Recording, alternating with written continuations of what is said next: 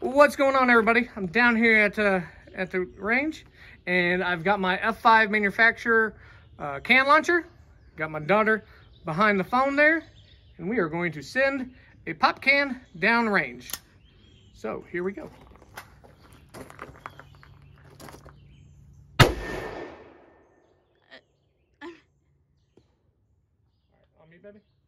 Me. So that went probably a good 75 yards. Hope you enjoy. Talk to y'all later.